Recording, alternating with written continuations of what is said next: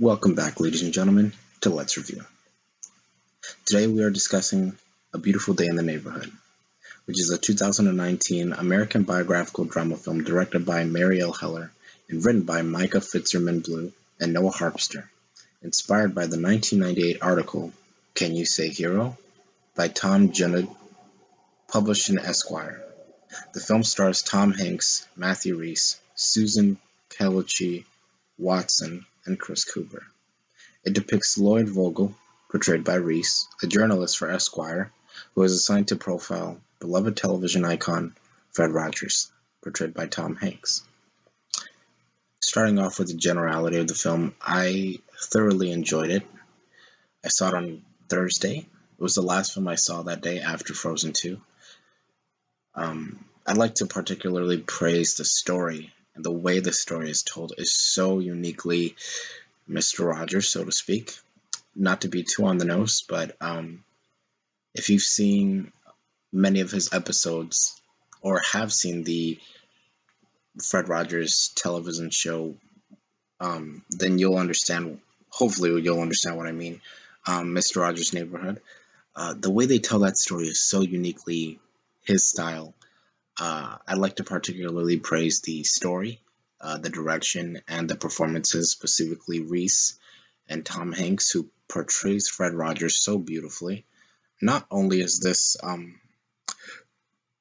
I don't know, but the way Tom Hanks portrays him here is just very soft and tender, and this movie felt like a nice, cathartic, deep breath I don't know how to explain this deep breath I'm trying to speak of without really getting into any spoilers, but the way the way the film begins and the way it ends, it's like a soft, gentle, big hug. And uh, I know a lot of people had seen last year's um, "Won't You Be My Neighbor" documentary, which was about Fred Rogers and his exploits at, um, during his tenure in television.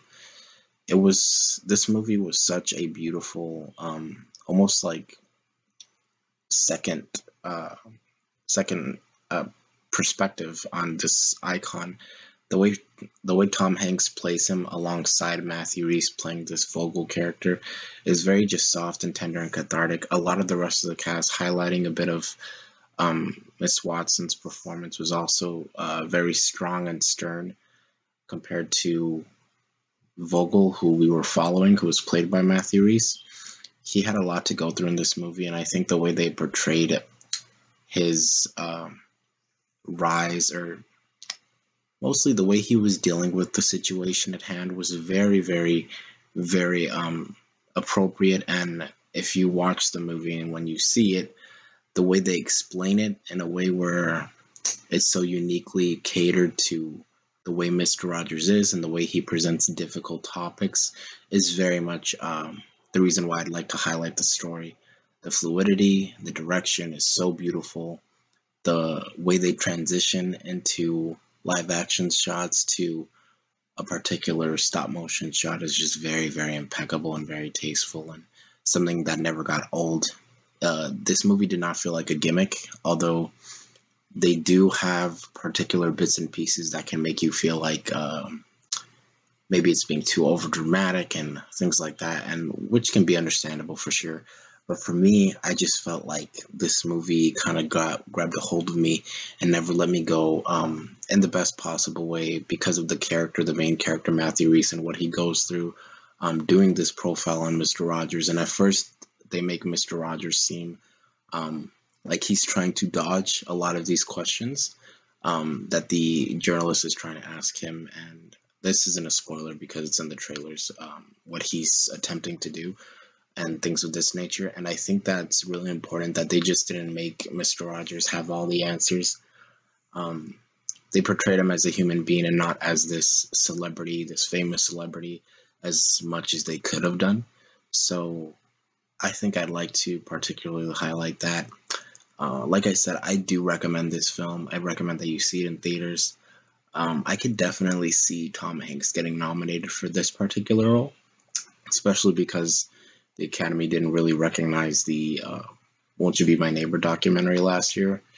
Um, a lot of people said that that was one of the movies that got snubbed because it was such a great documentary that no one really understood why, and it was also such a topical documentary with what they were discussing. So I'd just like to uh, end the review there um, by saying you should definitely go check it out. It is a great film to see for all ages. A really big.